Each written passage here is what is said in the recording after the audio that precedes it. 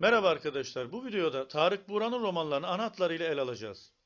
Osmancık romanında Kemal Tahir'in Devlet Ana romanına benzer bir biçimde Osmanlı'nın kuruluşunu anlatan yazar, Siyah Kehribar'da ise Ernest Hemingway'in Çanlar Kimin İçin Çalıyor romanına benzer bir biçimde İspanya İç Savaşı'nı ele alır.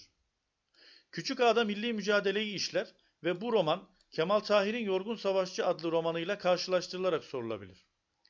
Dönemeçte Yağmur'u beklerken romanları ise çok partili hayata geçişi işler. Bunlar ise Kemal Tahir'in Yol Ayrımı eseriyle karşılaştırılarak sorulabilir. İbiş'in rüyasında Adile Naşit'in babası Naşit Özcan'ı Nahit karakteri üzerinden anlatır ve bir orta oyuncunun bu geleneği Cumhuriyet'in ilk yıllarında devam ettirmesi serüvenini işler.